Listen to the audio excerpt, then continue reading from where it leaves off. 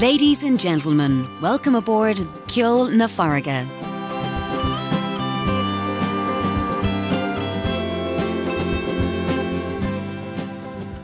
Before we depart, may I have your attention for a short safety announcement.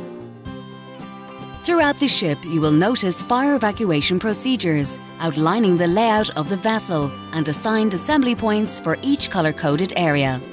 Please be aware of the location of your seat and its colour code and take note of the route to your assigned evacuation point.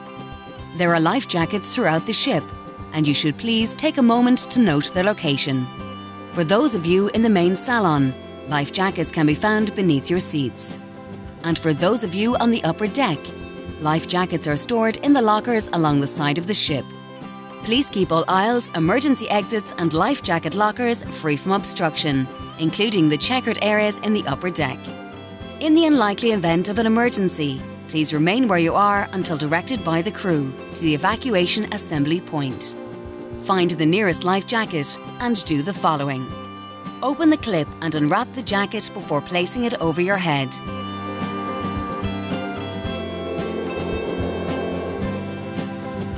Pull the belt around the jacket and adjust your best fit.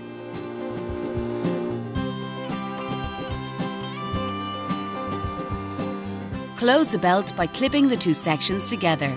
Tighten the belt by pulling on the remaining strap. The strap should be then tucked into the side of the jacket to avoid the possibility of it impeding your escape. On your jacket, you will find a light and a whistle to attract attention if necessary.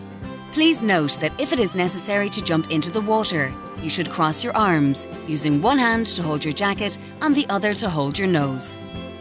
If you have a physical or sensory disability, please notify a crew member who can assist you in the event of an emergency. Thank you for your attention, and on behalf of the captain and crew, may we wish you a pleasant trip and thank you for sailing with Island Ferries.